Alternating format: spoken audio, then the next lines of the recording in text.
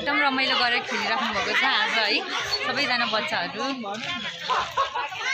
यो भिडियो मार्फत म हजुरहरूलाई के इन्फर्मेसन दिन चाहन्छु भन्दाखेरि ब बच्चाहरूलाई हामीले खेल्न त छोडिदिन्छौँ तर बच्चाले बच्चा कसरी खेलेको छ कुन तरिकाबाट खेलेको छ उसले त्यो खेललाई क्याप्चर गरेको छ कि छैन उसको दिमागमा क्याप्चर भएको छ कि छैन भनेर पनि हेर्नुपर्ने हुन्छ है। बच्चाले यत्तिकै खेल्न छोडिदिनु मात्र होइन कि उसले गर्ने हरेक क्रियाकलापहरूलाई चाहिँ बाबा मम्मी को हुन्छ त्यही बसेर नै अब्जर्भ गरिराख्नु पर्ने हुन्छ है।